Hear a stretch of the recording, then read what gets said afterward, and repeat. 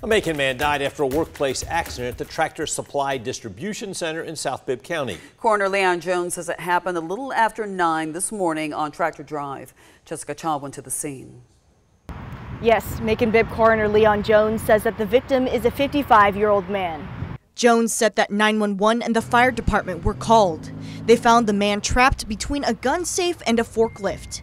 Jones says that the man was moving the gun safe and the accident happened when he stopped looked like he was trying to adjust the safe or something of that nature, and it fell and pinned him between the forklift and the safe.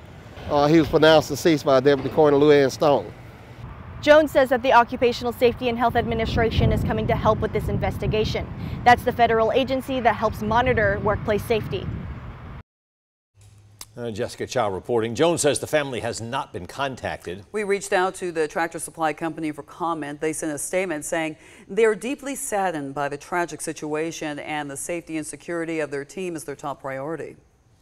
As we told you, OSHA is the federal agency that investigates and supervises health and safety issues in the workplace.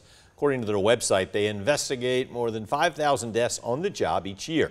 That's about 15 a day nationwide and about one out of five happened on construction sites.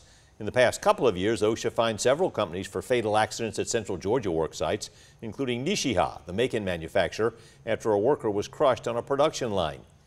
Gilmer Warehouse in Macon, after a woman was pinned between two giant paper rolls.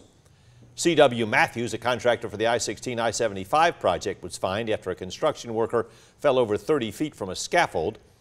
And the largest fine to Pearson Farm in Fort Valley, where a worker was hit in the head by a forklift. The company was given a $66,000 fine after investigators found more than a dozen safety violations.